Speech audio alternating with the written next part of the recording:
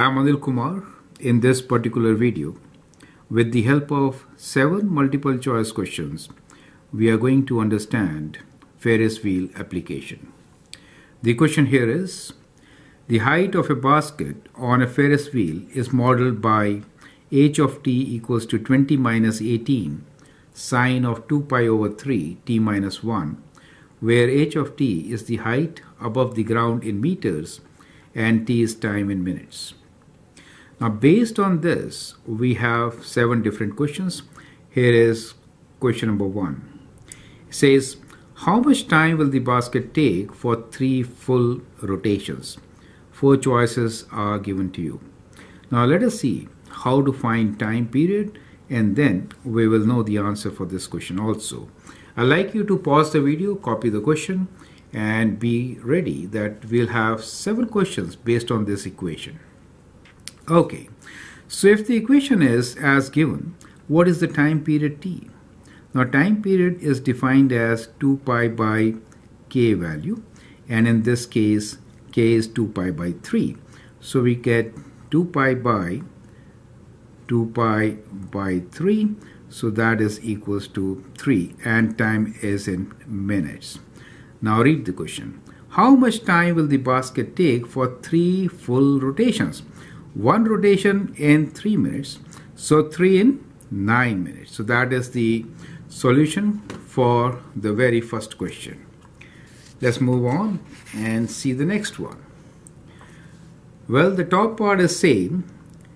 We are again talking about the same basket whose equation is given by h of t equals to 20 minus 18 sine 2 pi by 3 times t minus 1 the question now is when will the basket reach its maximum height?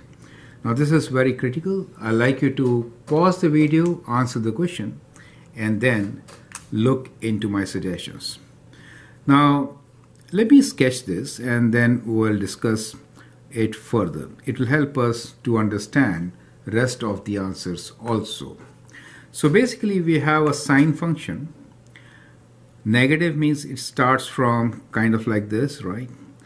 And 20 means that it is 20 meters above that the axis of this particular thing. So so we can draw the axis uh, let us say uh, let us say this is the axis now. Okay so this axis is at 20 meters. And we're looking for a sine wave. I will actually prefer to sketch it in two parts one with phase shift one without phase shift so with phase shift, without phase shift first, minus means it goes down first and uh, kind of like this, right? Where the time period is, as we saw, 3 minutes. So this is 3 minutes. The phase shift is of 1 minute, right? So this is like 1.5. So here it is 0.75, right? Half, half of 1.5.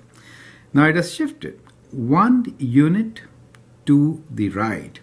That means the final position should be where? So the final position of this graph should be at, let me move it by one minute. So it'll end at four minutes, right? So let us say that one minute is around here so we'll kind of I'll just sketch one rough one right like this. And so it ends at four minutes. Is it okay? And starts at one.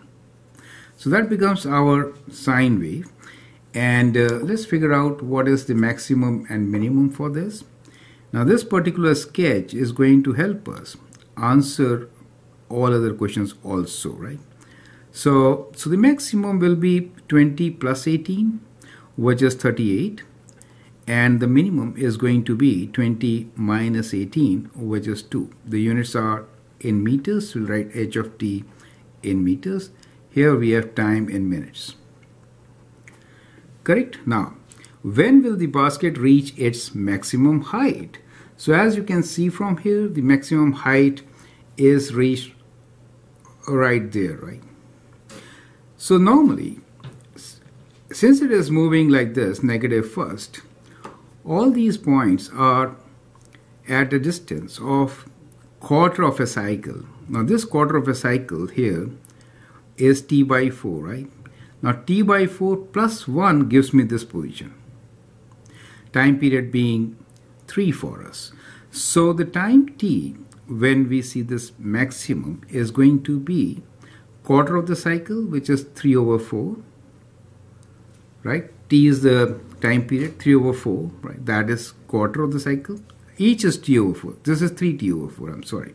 So 3 times 3 that is the position plus 1 since it is shifted by 1 unit on the right. So plus 1 that becomes the time of maximum height this time correct?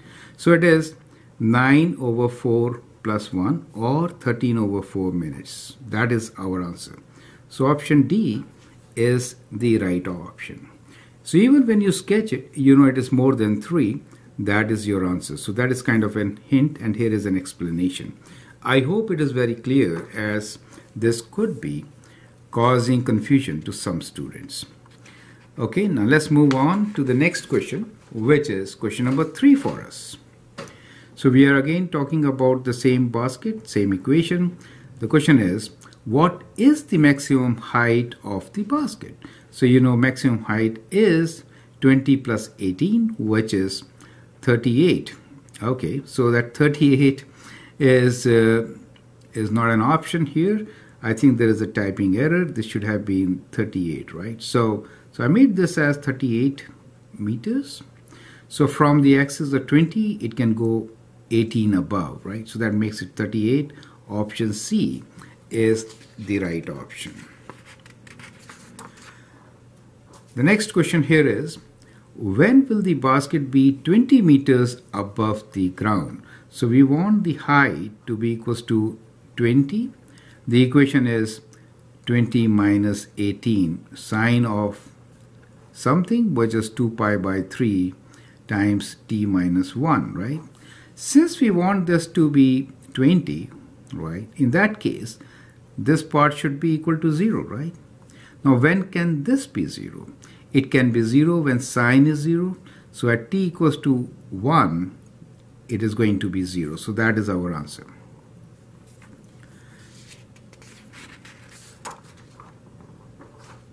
The next question here is find the height of the basket after 75 seconds. So basically we have to substitute t with 75 seconds but remember time is in minutes. So we have to divide 75 by 60. Now this is very important to do, right?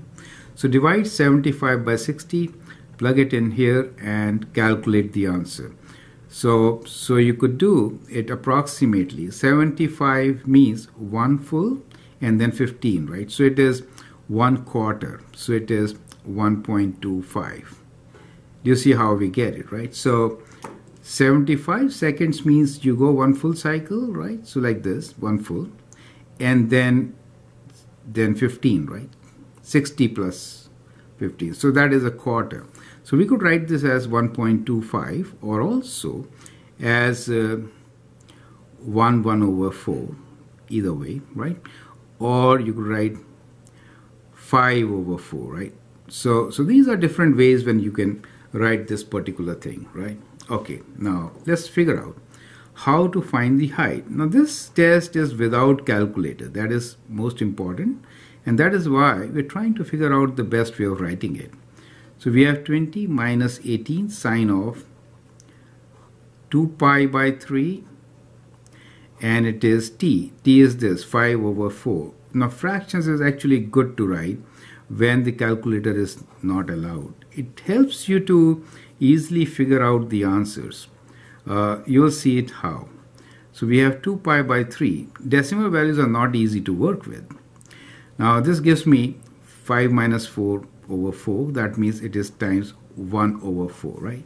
Now this part can be simplified and we could write this as 20 minus 18 sine of.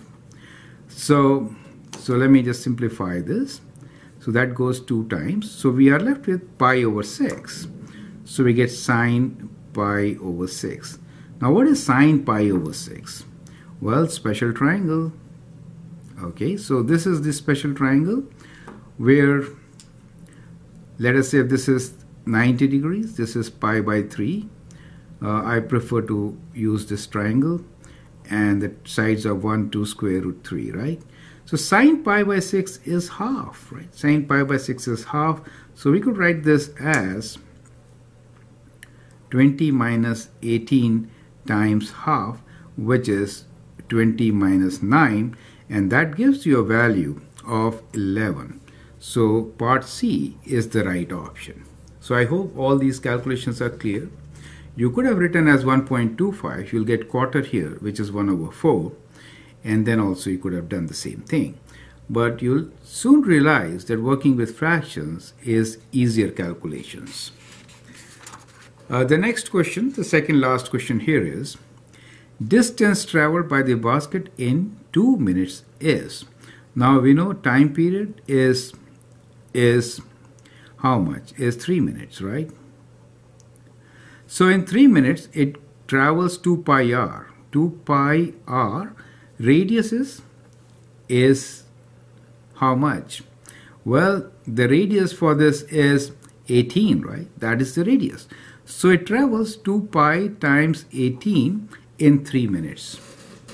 We want to know how much travels in 2 minutes. So in 1 minute, it is going to travel, let me write this as 36 pi and in 2 minutes it is going to travel twice right so 36 pi times 2 which gives us so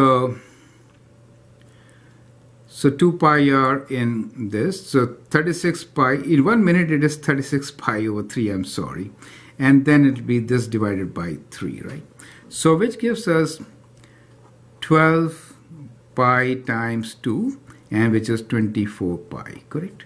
So the answer is C, which is 24 pi. So in 3 minutes, it travels 36 pi. Let me write here 36 pi. In 1 minute, 36 pi divided by 3, which is which is 12 pi. And then in 2 minutes, 12 times 2, which is 24. Perfect. So it travels so much, and the units are going to be meters as mentioned here. Now, the last question here is, the angular velocity of the basket is how much? Now, what we have realized is time t is 3 minutes, right? That means one revolution in 3 minutes. One revolution is 2 pi, right? So that is the radians. You can say radians, 2 pi radians In time taken is 3 minutes. Now, whenever we're trying to say angular velocity, as you can see, the units are radians per second. So we don't want minutes here. So let's convert minute to seconds. So we're minute divided by 60 seconds. So here minutes and minutes cancel. You can simplify this. That 2 goes 30 times. And so what we get here is pi radians over 90 seconds, right?